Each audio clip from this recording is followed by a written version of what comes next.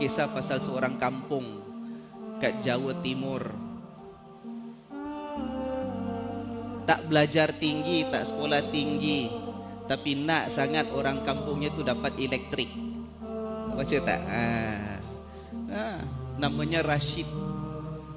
Kampungnya ada sungai. Daripada sungai dia tengok daripada kampung lain tu daripada apa tu roda yang dibuat kalau air bergerak boleh kasih hidupkan generator boleh kasih elektrik pada kampungnya. Tuan-tuan masya-Allah masa nak buat itu orang kata dia gila orang kata dia bodoh orang kata buat kerja sia-sia tuan-tuan. Dia sampai habis. Orang miskin tapi apa yang ada itulah dia belanjakan. Cuba pasal dia hendak orang kampung dapat elektrik.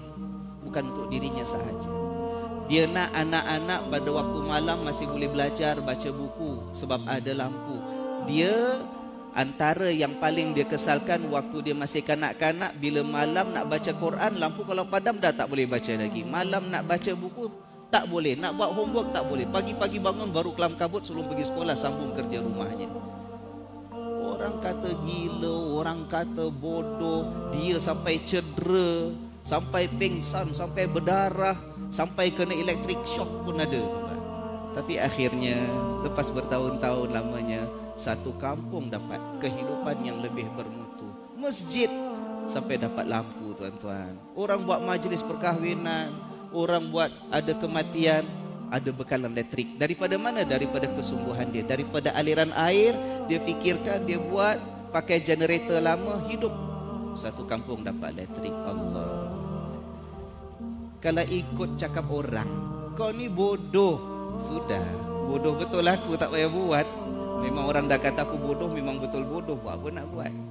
Kalau orang kata kau ni bingai bengap buat benda sia-sia tak ada faedah istiqamah seperti mana para rasul dan anbiya kalau itu dituntut oleh Allah itu pegangan kita kalau itu diperlukan untuk buatkan kebaikan kepada orang lain itu pegangan kita biar orang cakap apa pun Orang yang cakap tu orang yang tak faham. Kita masing-masing kita tahu apa yang kita buat. Asalkan kita jujur dengan Allah Subhanahu wa taala. Mudah-mudahan Allah berikan kita ketelusan hati.